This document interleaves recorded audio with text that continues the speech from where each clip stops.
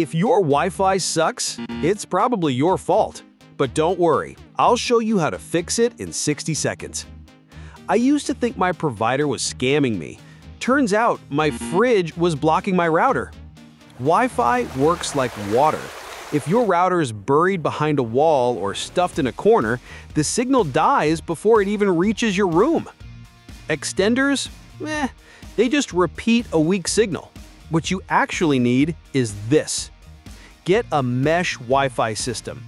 They may be pricey, but I've seen some models go on sale for under 70 bucks.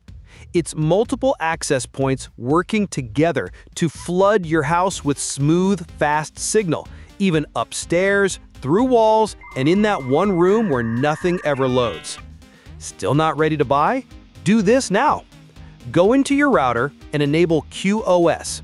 It tells your Wi-Fi to prioritize what actually matters, like Zoom or Netflix.